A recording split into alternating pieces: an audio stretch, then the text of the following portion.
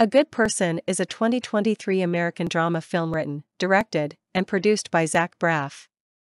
The movie tells the story of Allison, an aspiring musician who is involved in a fatal accident that leaves her dealing with severe depression and guilt.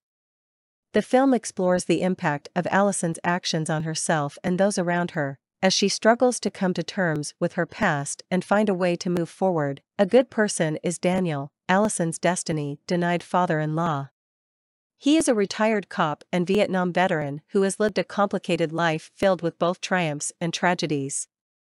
He is a recovering alcoholic with 10 years of sobriety behind him, and although he appears to have a calm and gentle demeanor, he carries a dark past that threatens to consume him.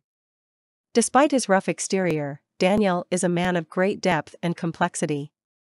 He is a saintly sinner, an old grandad who is capable of both immense kindness and frightening aggression.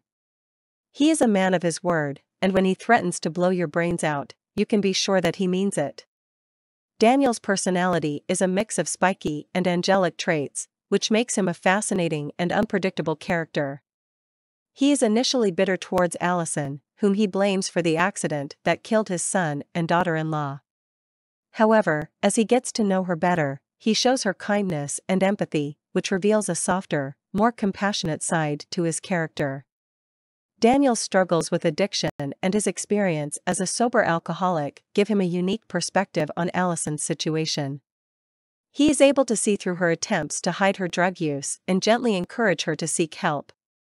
He knows firsthand the challenges of overcoming addiction, and he is willing to share his wisdom and experience with Allison as she navigates her own path to sobriety. Despite his past traumas and struggles, Daniel is a man of great resilience and strength. He has faced some of the toughest challenges life can throw at a person, and he has emerged on the other side with a deep sense of purpose and a commitment to helping others. The life of Daniel, as portrayed in the context, demonstrates that the most important victory is above oneself, because it requires us to look within ourselves and confront our own limitations, weaknesses, and vulnerabilities. It requires us to be honest with ourselves, to put our own ego aside, and to focus on personal growth and development. It also requires us to be patient, persistent, and resilient in the face of life challenges and setbacks. Dear friends, thank you for joining us today. See you next time and don't forget to subscribe.